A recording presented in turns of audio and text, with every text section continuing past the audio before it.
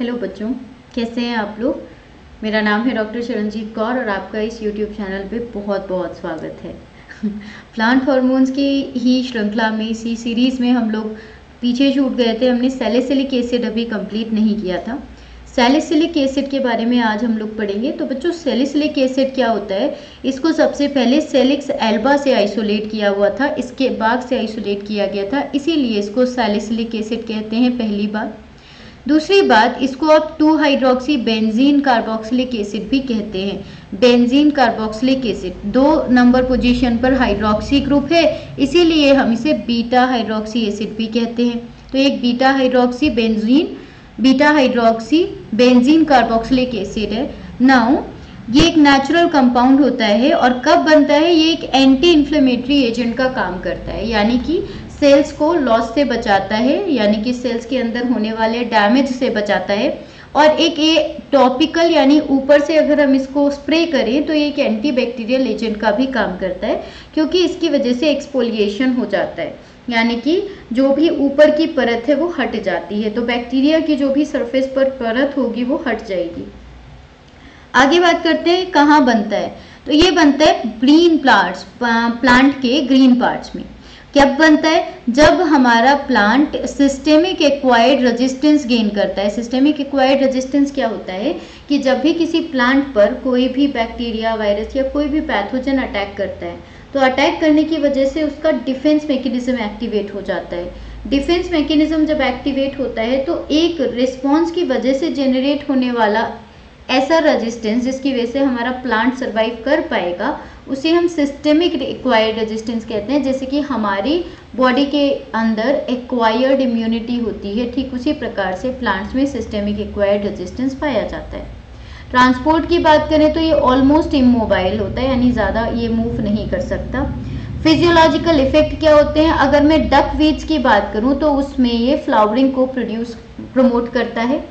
इसके अलावा सिनेसेंस को रोकता है, यानी कि जो पेटल्स होते हैं फ्लावर पेटल्स उनकी सिनेसेंस को रोकता है, उसकी एजिंग को रोकता है। कैसे? क्योंकि ये इथाइलिन के लेवल को कम कर देता है। तो ये बड़ा इंपॉर्टेंट फैक्टर आया है कि इथाइलिन के लेवल को सेलिसिलिक एसिड कम कर रहा है। It has been identified as the signal initiating the thermogenesis in voodoo leaves voodoo lily जो होती हैं, उन वूडो लिली में थर्मोजेनेसिस इनिशिएट करने में, यानी कि टेम्परेचर यानी हीट का प्रोडक्शन करने के टाइम पर भी सिग्नल जेनरेट करने का काम आपका as a signal molecule salicylic acid पाया जाता है। इसके अलावा एबायोटिक स्ट्रेस में भी प्लांट रिस्पॉन्स दिखाता है सेलिसिलिक एसिड और जब हम बात करते हैं वायरसेस की तो वायरसेस के अगेंस्ट डिफेंस प्रोवाइड करने में भी सेलिसिलिक एसिड एक बहुत इंपॉर्टेंट रोल प्ले करता है। ये हो गया स्ट्रक्चर सेकेंड नंबर पोजीशन पर हाइड्रोक्सी हाइड्रोक्सी ग्रुप है और फ़र्स्ट नंबर पोजीशन पर carbon di carboxylic acid group है। सो ये हो गया हमारा beta hydroxy benzene carboxylic acid group salicylic acid इसकी सिंथेसिस और कैटाबॉलिज्म की बात करते हैं, यानी सिंथेसिस और डिग्रेडेशन की बात करते हैं। तो बेटा सेलेसिलिक एसिड की सिंथेसिस दो पाथवे से होती है। एक तो होती है ट्रांसिनेमिक एसिड से दूसरी होती है कोरिज्मिक एसिड से। एक में प्रिकर्सर है ट्रांसिनेमिक एसिड दूसरे में प्रिकर्सर होता है कोरिज्मिक एसिड तो ये डिपेंड करता है कि भाई नेचर ऑफ़ एलिसिटर यानी सिग्नल का नेचर क्या था। जो सिग्नल आएगा, उसके हिसाब से ट्रांसिनेमिक एसिड पाथवे एक्टिवेट होगा या फिर कोरिज्मिक एसिड पाथवे एक्टिवेट होगा। अब जो पाथवे होता है बायोसिंथेसिस का प्लांट्स के अंदर, वो भी स्पीशीज स्पेसिफिक होता है और we can say treatment specific treatment का मतलब एक सिग्नल की बात करेंगे। कि सिग्नल कौन सा मिला? दूसरी बात स्पीशीज स्पेसिफिक है, यानी कि अलग अलग स्पीशीज में अलग अलग टाइप से सिंथेसिस हो सकती है। किसी स्पीशीज में इसको फॉलो करेगा कि दूसरी स्पीशीज में दूसरे पाथवे को फॉलो करेगा। जैसे कि, अगर हम एबायोटिक स्ट्रेस की बात करते हैं तो एक इंपॉर्टेंट पॉइंट है कि जब हम एबायोटिक स्ट्रेस की बात करते हैं, जिसमें कोई भी पैथोजन इन्वॉल्व नहीं है, जैसे ड्राउट रेजिस्टेंस हो सकता है राइट ड्राउट स्ट्रेस हो सकता है सॉल्ट स्ट्रेस हो सकता है हीट की वजह से स्ट्रेस हो सकता है, ऐसे स्ट्रेस में सैलिसिलिक एसिड का फॉर्मेशन कोरिज्मिक एसिड से होता है। लेकिन जब पैथोजन प्रेजेंट है, यानी कि जब बायोटिक स्ट्रेस की हम बात करते हैं, तब सेलिसिलिक एसिड आपका ट्रांसिनेमिक एसिड से बनता है। तो ये हमारी सिग्नल की भी बात हो गई और मेकेनिज्म की भी बात हो गई। अब जो बायोसिंथेसिस होती है तो 1993 में जो सेलिसिलिक एसिड की बायोसिंथेसिस थी निकोशियाना टबेकम के अंदर, वो एक साइड ब्रांच भी इन्वॉल्व करती थी, यानी 1993 में इसके सिंथेसिस को प्रपोज किया गया निकोशियाना टिबेकिम में, जिसमें एक साइड ब्रांच थी। वो साइड ब्रांच थी फिनाइल प्रोपेनॉइड पाथवे की। फिनाइल प्रोपेनॉइड पाथवे से होता क्या था? ट्रांसइनेमिक एसिड को बेंजोइक एसिड में कन्वर्ट किया जाता था। फिर आपका जो बेंजोइक एसिड है, वो आप में टू हाइड्रोक्सिलेशन वहाँ पर होता था बेंजोइक एसिड में, और वो बन जाता था सेलिसिलिक एसिड बेंजोइक एसिड में सेकेंड नंबर पोजीशन पर हाइड्रोक्सिलेशन होगा, यानी बीटा हाइड्रोक्सिलेशन होगा और वो बन जाएगा सेलिसिलिक एसिड सो बाद में जब हमने टीएमवी यानी कि टोबैको मोजैक वायरस का इनोकुलेशन करा, जब वायरस का इनोकुलेशन किया तो बहुत ही ज़्यादा बेंजोइक कॉन्जुगेट मिले. जब बेंजोइक कॉन्जुगेट्स थे, उनकी हाइड्रोलिसिस हुई और वहाँ से बेंजोइक एसिड रिलीज़ हुआ. उस बेंजोइक एसिड से benzoic acid two hydroxylase enzyme activate हुआ। जब benzoic acid two hydroxylase enzyme activate हुआ, तब बेंजोइक एसिड से सेलिसिलिक एसिड बना। समझ में आई बात? कि भाई, पहले एक साइड ब्रांच हुआ करती थी phenyl propanoid pathway. Phenyl propanoid pathway में ट्रांसिनेमिक एसिड से बेंजोइक एसिड बनता था। फिर जो आपका बेंजोइक एसिड होता था, उसके बीटा हाइड्रोक्सिलेशन से सैलिसिलिक एसिड बनता था। ये 1993 में बायोसिंथेसिस का प्रपोज्ड पाथवे था। लेकिन बाद में जब हमने टीएमवी का इनोकुलेशन करके देखा तो हमको पता चला कि एक बहुत बड़ा पूल था बेंजोइक एसिड के कॉन्जुगेट्स का, और जब वो हाइड्रोलाइज होते हैं तो बहुत ज़्यादा मात्रा में बेंजोइक एसिड बन जाता था। फिर बेंजोइक एसिड के बनने से benzoic acid two hydroxylase enzyme activate होता था, जो कि बेंजोइक एसिड से सैलिसिलिक एसिड में कन्वर्ट कर देता था। बाद में इसमें और ज़्यादा रिसर्च हुई। और ज़्यादा रिसर्च हुई तो ये पता चला कि कौन सी वाली हमारी रेट लिमिटिंग स्टेप है। रेट लिमिटिंग स्टेप वो स्टेप होती है जिसको हम कहते हैं सबसे slow step so slowest step कौन सी थी सिग्नलिंग में या सिंथेसिस में? सेलिसिलिक एसिड की बायोसिंथेसिस में, जब ट्रांसइनेमिक एसिड से बेंजोइक एसिड बना, ये सबसे स्लो स्टेप था it is it was the rate limiting step जिसके अंदर बीटा ऑक्सीडेशन पाथवे भी हो रहा है उसके बाद in which transcinnamoyl coenzyme A is first of the four intermediate total चार इंटरमीडिएट होते हैं ट्रांसिनेमिक एसिड वाले पाथवे में। चार इंटरमीडिएट में से ट्रांसइनेमोइल कोएंजाइम ए पहला इंटरमीडिएट होता है बीटा ऑक्सीडेशन पाथवे के। प्रोसेस में। इसी का इनडायरेक्ट एविडेंस आया, जिसमें क्या आता है, जो ट्रांसइनेमिक एसिड है it is acting as the key intermediate in the salicylic acid biosynthesis pathway कैसे पता चला? जब हमने टीएमवी का इनोकुलेशन किया लीव्स में जेंथाई एनसी प्लांट में तो जेंथाई एनसी प्लांट के अंदर जब टीएमवी का इनोकुलेशन कराया गया, यानी टीएमवी को ट्रांसजेनिक प्लांट के अंदर इंसर्ट कराया गया इनोकुलेट कराया गया वायरस को इनोकुलेट कराना is not a big deal I will show you कि कैसे होता है। जिसमें क्या होता है phenylalanine ammonia lyase enzyme की एक्टिविटी सप्रेस हो गई। Phenylalanine ammonia lyase activity suppress हो गई, जिसकी वजह से क्या हुआ which exhibit a four fold lower increase in the salicylic acid than the inoculated leaves of the wild type plant wild type plant में जितना आपका लीव्स बढ़ना चाहिए, जितना आपका सेलिसिलिक एसिड पाथवे का इंक्रीमेंट होता है, आपके इस ट्रांसजेनिक प्लांट में, जिसमें आपका ट्रांस ट्रांसइनेमिक एसिड के लिए ये एक ट्रांसजेनिक था, वहाँ पर आपका वन बाई फोर्थ इंक्रीज हुआ। इससे हमें ये भी पता चलता है कि यहाँ पर आपका जो ट्रांसइनेमिक एसिड है इट इज़ वेरी इंपॉर्टेंट तो हमें कुछ चीज़ें पता चल रही हैं अभी सिंथेसिस के बारे में। नाउ जो सेलिसिलिक एसिड का होता है सिंथेसिस, ये एक बायोसिंथेसिक प्रिकर्सर की तरह काम करता है। सो सेलिसिलिक एसिड जो बना it is a it is produced as a biosynthetic precursor of siderophore siderophore क्या होते हैं? जो कि आयन चिलेटिंग कंपाउंड्स होते हैं। तो कुछ ऐसे बैक्टीरिया होते हैं जिसमें सिडेरोफोर की सिंथेसिस होती है, जो कि आयरन को चिलेट कर सकते हैं। और सेलिसिलिक एसिड कोरिज्मिक एसिड से बनता है। तो ये अलग बात हो गई हमारी। जहाँ कोरिज्मिक एसिड से बनेगा, वहाँ पर आपका सिडेरोफोर आ रहा है। तो बैक्टीरिया में कोरिज्मिक एसिड सबसे पहले आइसोकोरिज्मिक एसिड में कन्वर्ट होता है आइसोकोरिज्मिक सिंथेज एंजाइम से आईसीएस से। इसके बाद जब आइसोकोरिज्मिक एसिड बन जाता है, बाद में इसको सैलिसिलिक एसिड में कन्वर्ट करते हैं और पायरुविक एसिड बनाते हैं by isochorismate pyruvate lyase enzyme यानी कि आईपीएल से। इस एविडेंस से आपको क्या पता चला कि जो हमारा सेलिसिलिक एसिड था एराबिडोप्सिस के अंदर, उसकी सिंथेसिस आइसोकोरिज्मिक एसिड से होती है, जैसे बैक्टीरिया में। इसी के साथ साथ ये भी पता चला कि जो एराबिडोप्सिस प्लांट है, इस प्लांट के अंदर भी आइसोकोरिज्मिक एसिड से ही सिंथेसिस होती है, जैसे बैक्टीरिया में होती है।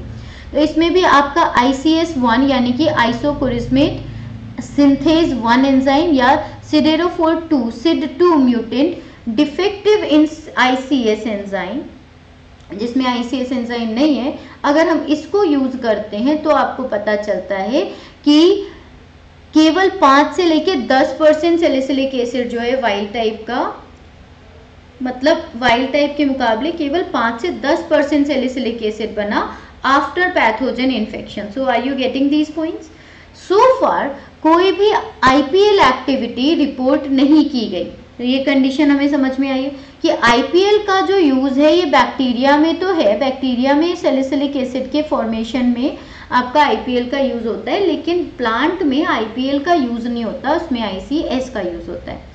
जब आपको डिस्कवरी हो गई आइसोकोरिज्मिक एसिड पाथवे की एराबिडोप्सिस के अंदर तो उसमें बहुत सारे क्वेश्चंस आए। यानी कि इसमें बेंजोइक एसिड का और आइसोकोरिज्मिक एसिड डिपेंडेंट पाथवे का क्या कॉन्ट्रीब्यूशन है? क्लियर अलग अलग स्पीशीज में, जैसे मैंने आपको अभी बताया था, अलग कॉन्ट्रीब्यूशन है। हमने टबेको में पढ़ा था, उसमें निकोशियाना टबेकम में पढ़ा था, उसमें बेंजोइक एसिड का मेन रोल पढ़ रहे थे। उसमें मेनली हमने इसी पाथवे से सैलिसिलिक एसिड का फॉर्मेशन देखा था और आइसोकोरिज्मिक डिपेंडेंट पाथवे जो था, वो आपका एराबिडोप्सिस में पाया गया। पूरा पाथवे समझिए कि आज की डेट में जो आपके एविडेंसेस हैं वो क्या बताते हैं? जो ट्रांसिनेमिक एसिड है, वो आपका बेंजोइक एसिड में कन्वर्ट होता है with by the pathway of beta oxidation pathway एक कोएंजाइम में इंडिपेंडेंट रूट होती है for the conversion of transcinnamic acid to benzoic acid and it में ऑल्सो एग्जिस्ट देखिए, ये हमारा कोरिज्मिक एसिड है, ठीक है? ये कोरिज्मिक एसिड से आपका आईसीएस वन या सिड टू एंजाइम जो आइसोकोरिज्मेट सिंथेज एंजाइम है ये फाइनली आइसोकोरिज्मिक एसिड बनाता है कुछ स्टेप्स में।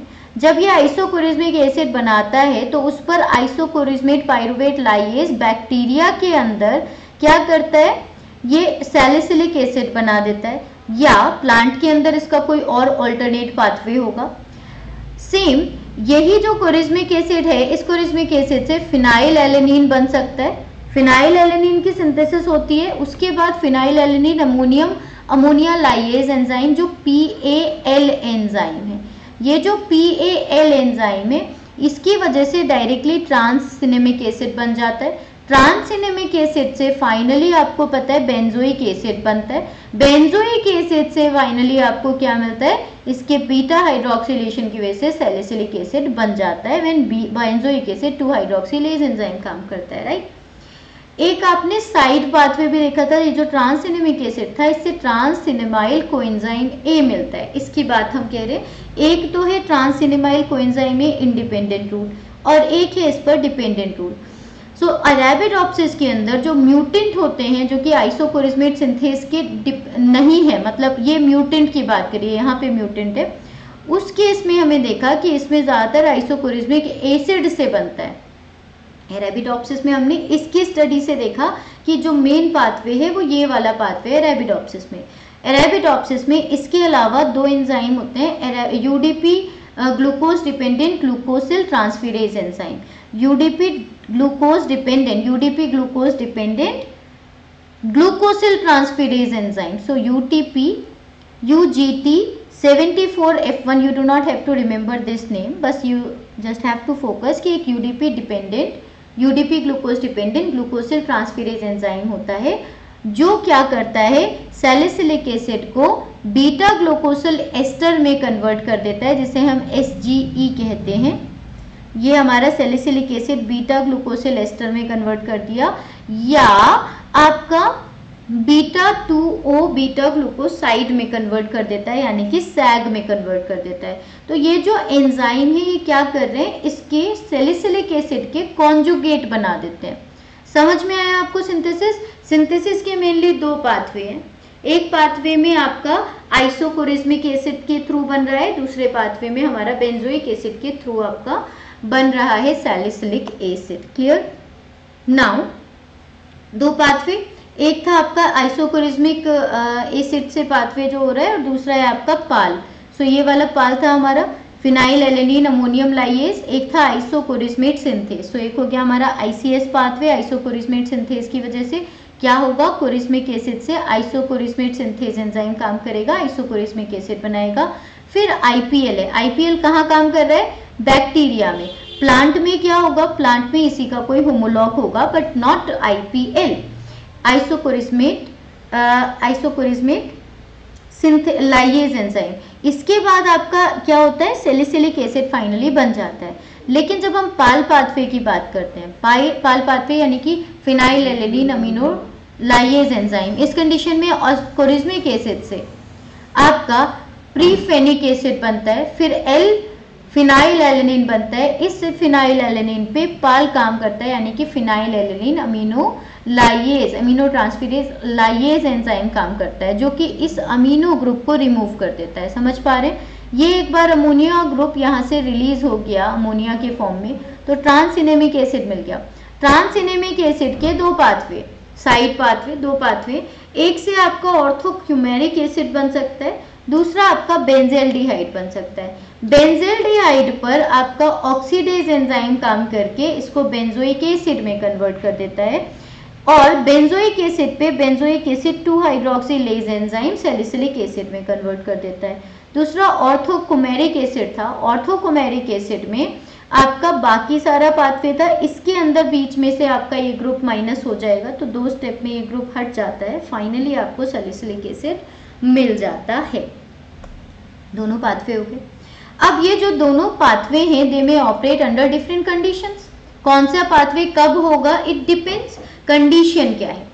So it is not likely to be case in the Arabidopsis as I C S one and C two mutant fails to accumulate S A यानी salicylic acid in response to various salicylic acid inducing environmental cues so दो pathway हैं, वो अलग अलग condition में काम कर सकते हैं, लेकिन एराबिड ऑप्सिस के केस में यह देखा गया कि जब हमने आई सी एस वन या सिड टू म्यूटेंट यूज़ किया है, तब उसमें सेलिसलिक एसिड का एक्यूमुलेशन नहीं हुआ है।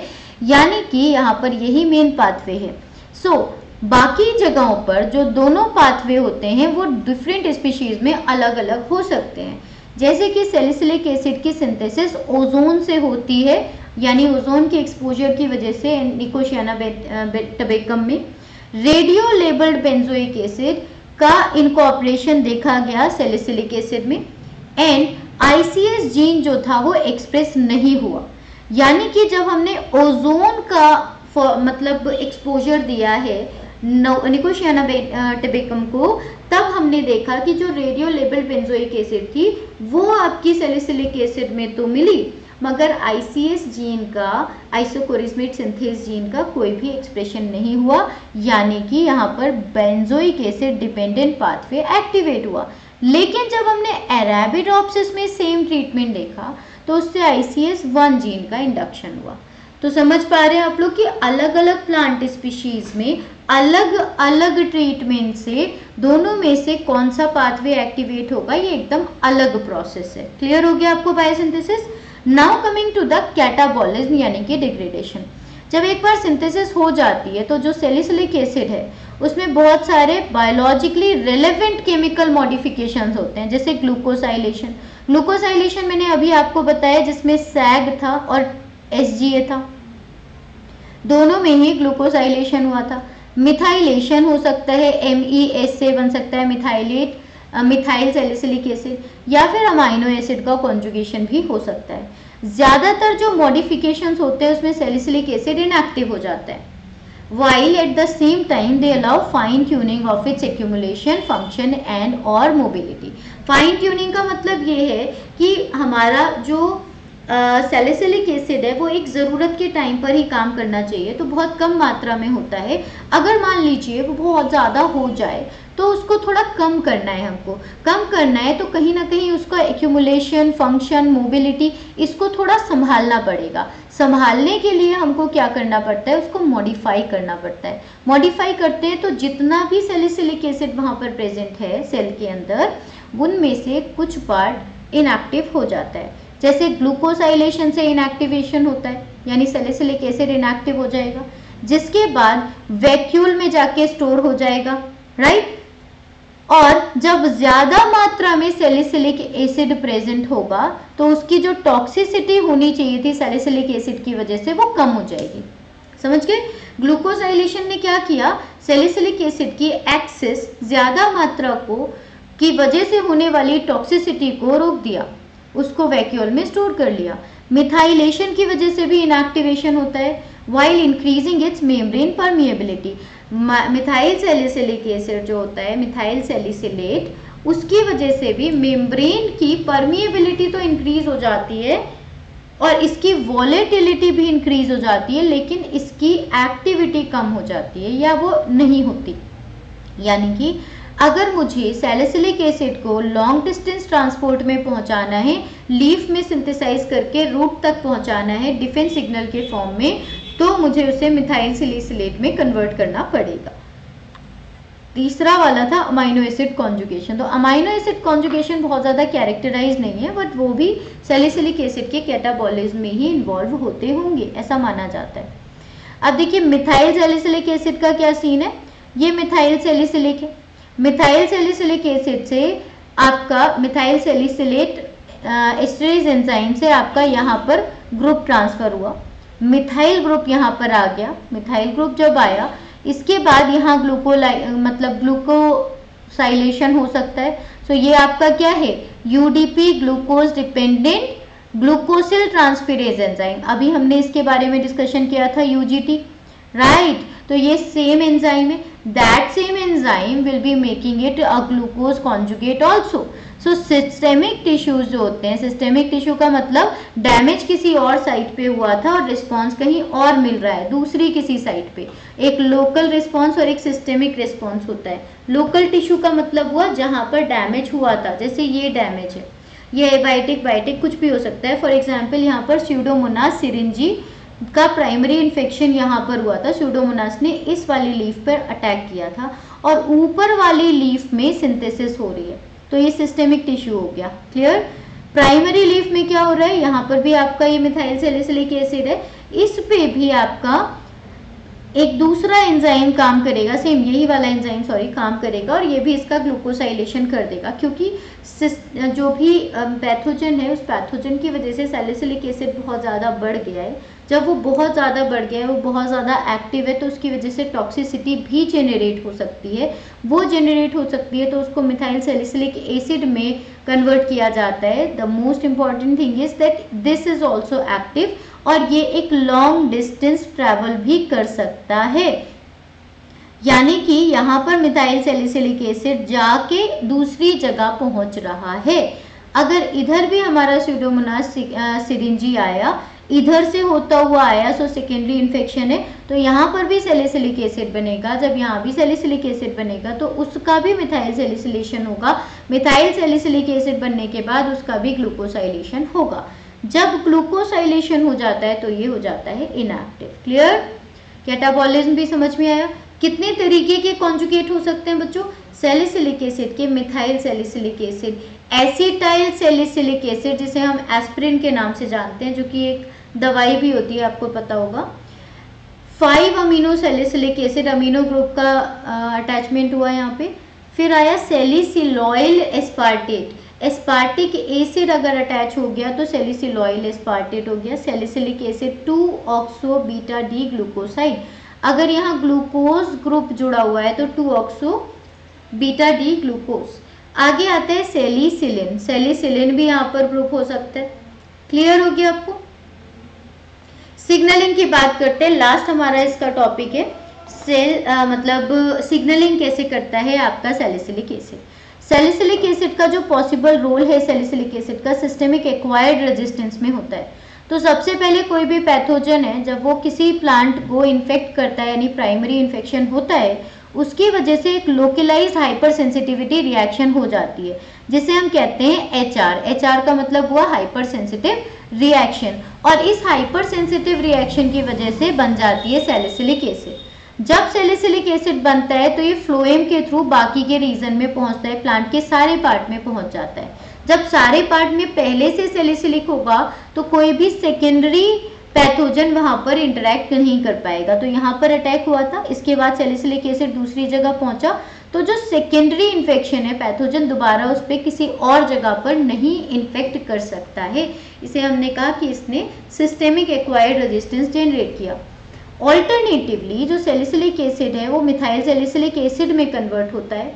मिथाइल सेलिसिलिक एसिड जो कि मॉडरेटली वॉलेटाइल है, वो एक एयर बॉन्ड सिग्नल का काम करता है। तो सेलिसिलिक एसिड फ्लोएम के थ्रू जा रहा है और मिथाइल सेलिसिलिक एसिड आपका वोलेटाइल कंपाउंड है वोलेटिलिटी है तो वो यहाँ से मूव करके एयर के थ्रू दूसरी जगह पहुँच सकता है।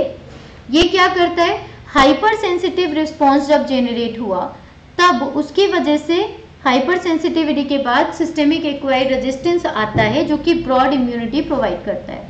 सो so, ज़्यादातर जो रिसर्च पेपर्स हैं वो क्या बताते हैं कि सेलिसिलिक एसिड है या इसका वोलेटाइल फॉर्म है वो आपके सिस्टेमिक एक्वायर्ड रेजिस्टेंस के लिए सिग्नल का काम करते हैं। सो so, जो आपके सेलिसिलिक एसिड या जो सॉरी सिस्टेमिक एक्वायर्ड रेजिस्टेंस है it is mainly characterize by the increase in salicylic acid levels so the activation of defence related genes इसके बाद क्या होगा? डिफेंस से रिलेटेड जीन्स एक्टिवेट हो जाते हैं और पैथोजन रिलेटेड प्रोटीन्स एक्टिवेट हो जाती हैं। तो ये एक सिग्नल का काम कर रहा है। सिग्नल की वजह से रिस्पॉन्स जनरेट होगा। रिस्पॉन्स क्या होगा? कि बहुत सारे जीन्स एक्टिव होते हैं। कौन से वो जीन्स होते हैं? पैथोजेनेसिस रिलेटेड प्रोटीन होती है। ठीक है जी? अब आइसोकोरिज्मिक एसिड का जब सिंथेसिस हुई थी तो आइसोकोरिज्मिक एसिड कोरिज्मिक एसिड से सेलिसिलिक एसिड बनाता है। एरेबिडोप्सिस म्यूटेंट से हमने देखा था कि अगर हमारा इसके म्यूटेंट हम यूज़ करते हैं, कौन से वाले? आई सी एस वन या फिर सिड टू म्यूटेंट अगर हम ये म्यूटेंट यूज़ कर रहे हैं तो इससे हमें पता चला उसमें SAR का इंडक्शन नहीं हुआ था। सिस्टेमिक रेजिस्टेंस जो होता है इन्फेक्टेड प्लांट का, अगर हम आइसोकोरिज्मेट सिंथेज जीन इंसर्ट कर दें अगर उस जीन में या उस प्लांट के अंदर आइसोकोरिज्मेट सिंथेज जीन होता है, तब उसके जीन का ऑल्ट्रेशन क्या है? धीरे धीरे कम हो जाता है। एंड सेलिसिलिक एसिड का एक्यूमुलेशन केवल 5 टू 10 परसेंट होता है। So systemic resistance of infected plants जिसमें isochorismic acid chorismate synthase gene के ऑल्टरेशन पाए जाते हैं। यानी कि इसकी ऑल्टर्ड फॉर्म यानी म्यूटेंट फॉर्म पाई जाती है। उन वाले प्लांट्स में सेलिसिलिक एसिड का बहुत ही कम एक्यूमुलेशन देखा गया है।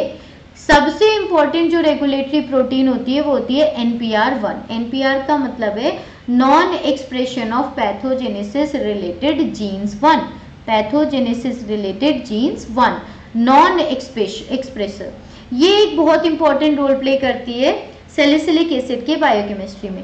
So N P R one क्या है? एन पी आर एक वीकली एक्सप्रेस्ड जीन होता है.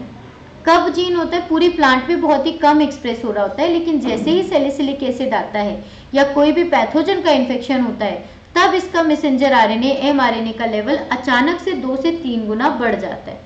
इसके अलावा जो आपका एनपीआर जीन है, उसके ऑल्टरेशन जब देखे गए, यानी इसके म्यूटेंट देखे गए अरेबिडोप्सिस में तो उसमें देखा गया कि उन्होंने सेलिसिलिक एसिड के लिए कुछ भी रिस्पॉन्स जेनरेट नहीं किया। तो हमने रेबिडोप्सिस में दो तरीके के म्यूटेंट देखे। एक से तो सेलिसिलिक एसिड की सिंथेसिस नहीं हो पा रही थी और दूसरा था आपका एन पी आर वन के mutant. N P R one के म्यूटेंट में हमने देखा कि जो सेलिसिलिक एसिड था, इसके प्रेजेंस में भी उसमें कोई भी एक्टिविटी नहीं हो रही थी। तो सेलिसिलिक एसिड के लिए N P R one gene बहुत इंपॉर्टेंट है। Salicylic acid is necessary for the interaction between the NPR1 protein and the TGA family of transcription factor. TGA family और NPR1 प्रोटीन के इंटरेक्शन के लिए salicylic acid बहुत important है। TGA family क्या है? TGA एक ट्रांसक्रिप्शन फैक्टर होता है बी जिप फैमिली का। जो zip family B zip basic zip family होती है, जो कि बहुत ज़्यादा कंजर्व्ड है in plants animals and microorganism transcription factor की। फैमिली होती है टीजीए ट्रांसक्रिप्शन फैक्टर होते हैं, उनका एनपीआर वन के साथ इंट्रैक्शन कराने में सेलिसिलिक एसिड बहुत इंपॉर्टेंट रोल प्ले करता है। कैसे? देखिए, शिकमिक एसिड पाथवे आपने सुना होगा। तो शिकमिक एसिड से कोरिज्मिक एसिड बनता है, फिर कोरिज्मिक एसिड से आइसोकोरिज्मेट सिंथेज एंजाइम आइसोकोरिज्मेट बनाता है। आइसोकोरिज्मेट से आपका पाल, जो आईपीएल है, वो आपका सेलिसिलिक एसिड बना देता है। एंड इस आइसोकोरिज्मिक एसिड से फिनाइल एलेनिन भी बनता था, जिस पे पाल काम करके transcinnamic acid and then benzoic acid बनाता था, जिस पे benzoic acid two hydroxylase enzyme salicylic acid बना देता था। ये तो रही सिंथेसिस की बात। अब बात करते हैं सिग्नलिंग की। तो जब हमारे पास सैलिसिलिक एसिड बहुत ही कम मात्रा में है तो एनपीआर है, वो साइटोसोल के अंदर प्रेजेंट है। साइटोसोल में प्रेजेंट है, क्योंकि सैलिसिलिक एसिड कम है। कम है तो यहाँ एनपीआर जब न्यूक्लियस के अंदर जाता है तो इस पे एन थ्री और फोर जुड़ जाते हैं। एन थ्री और फोर क्या है बच्चों? ये आपके निगेटिव रेगुलेटर होते हैं। यानी कि ये क्या करते हैं? एनपीआर वन को टीजीए के साथ जुड़ने से रोक देते हैं। जब एन एनपीआर वन टीजीए से जुड़ता नहीं है तो आपका पैथोजन रिलेटेड जो जीन्स हैं वो बनते नहीं है। तो सीधी सी बात है, हमारा आगे का काम नहीं होगा। लेकिन जब बहुत ज़्यादा मात्रा में सेलिसिलिक एसिड प्रेजेंट होता है तो सेलिसिलिक एसिड जाके एनपीआर से जुड़ जाता है। उस कंडीशन में एनपीआर वन एनपीआर थ्री और फोर के साथ जुड़ा रहता है और कुछ एनपीआर फ्री हो जाता है। वो एनपीआर जो फ्री हुआ, जिसमें सेलिसिलिक एसिड था, उसने एनपीआर थ्री फोर से जुड़ लिया। ऐड हो गया। जो एनपीआर यहाँ पर था प्रेजेंट वो जाके टीजीए जो कि ट्रांसक्रिप्शन फैक्टर है, इससे जुड़ा। जब ये ट्रांसक्रिप्शन फैक्टर से जुड़ा तो आपके जीन्स एक्टिवेट हुए और पैथोजन रिलेटेड जीन्स एक्टिवेट हो गए। सही है? अब of particular interest is the recent discovery that changes the redox status of the cell play an important role in the NPR one and TGA interaction ये बड़ा important आया। कि अब एक रीसेंट डिस्कवरी में ये पता चला कि हमारी जो सेल्स होती है, उनका रिडॉक्स यानी कि रिडक्शन एंड ऑक्सीडेशन स्टेटस जो होता है सेल्स का, वो चेंज हो जाता है जब एन पी आर वन और टीजीए का इंट्रैक्शन होता है। यानी कि सेल का जो रिडॉक्स पोटेंशियल है, वो चेंज हो गया। क्यों? क्योंकि एक इनिशियल बर्स्ट हुआ रिएक्टिव ऑक्सीजन स्पीशीज का to the more reducing environment क्योंकि सेल के अंदर ज़्यादा रिडक्शन रिड्यूसिंग एनवायरमेंट है। तो उससे रिएक्टिव ऑक्सीजन स्पीशीज बने। इस रिएक्टिव ऑक्सीजन स्पीशीज की वजह से सैलिसिलिक एसिड बने एंड सेलिसिलिक एसिड की वजह से पीआर जीन्स बने। पीआर जीन कब बने? जब एन पी आर वन जो साइटोसोल में था, वो न्यूक्लियस में करा, गया और वहाँ से उसने टीजीए ट्रांसक्रिप्शन फैक्टर के साथ इंटरेक्ट किया। सो बेसिकली रिडॉक्स पोटेंशियल ने बड़ी इंपॉर्टेंट रोल प्ले किया। कैसे? रिडॉक्स पोटेंशियल कब इंक्रीज हुआ था? जब रिएक्शन रिएक्टिव ऑक्सीजन स्पीशीज बने थे। रिएक्टिव ऑक्सीजन स्पीशीज आपके एबायोटिक स्ट्रेस से भी बन सकते हैं और बायोटिक स्ट्रेस से भी बन सकते हैं। बनने के बाद सेलिसिलिक एसिड बना, इन सारी प्रोसेस हुई। समझ में आया आपको? आई होप कि आपको समझ में आ गया होगा पूरा process in in case you have any doubt any problem you are most welcome to comment in the comment section thank you so very much and please like and subscribe on my to my YouTube channel bell icon को press करना मत भूलिएगा. Thank you